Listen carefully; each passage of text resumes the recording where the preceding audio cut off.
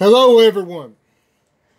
This story is called Grow and Flourish.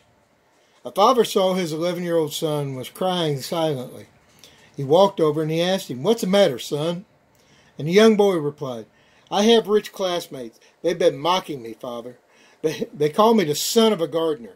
They say that my father lives only on the money he earns from watering and feeding the plants for other people.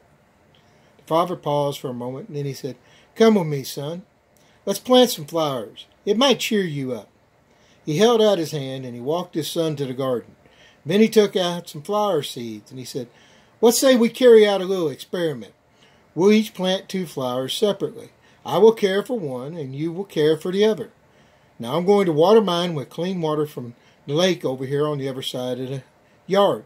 But you will water yours with the dirty water from that pond at the back fence. And we're going to see the outcome in the weeks to come. Now, the young son was delighted as he joined his father in planting flowers. He really loved to watch his dad work, and he especially liked being able to help him. It took them some days to finally germinate the flower seeds. Then they proceeded to care for them. The father respe- respectively cared for his while the son cared for his, and they watched them grow. Now, later on, the father brought his son back to the garden, and he said to him, I want you to look at the two flowers and tell me your observations, son. The boy responded, Why, father, my flower looks better and healthier than yours. How is that even possible when your water is cleaner? And the father smiled and then said, That's because dirty water doesn't stop a plant from growing. Rather, it serves as organic fertilizer to help it flourish. You see, son, there are some people out there who will put you down in life. They'll mock your dreams. They'll throw dirt on you. But you need to always remember there's nothing wrong with you. It is their ego that they're trying to stroke and satisfy.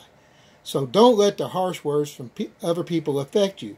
Instead, let it encourage you into becoming a better person. And in doing so, you'll be like the flower that you've grown. You will flourish even in the midst of dirt like negativity, harsh words, and other people's wrong egos.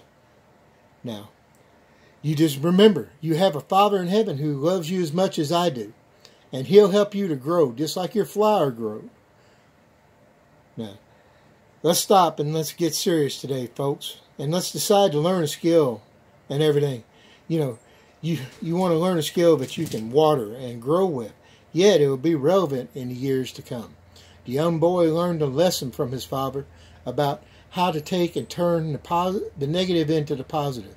He learned that it didn't matter what anybody had to say about him or anything else.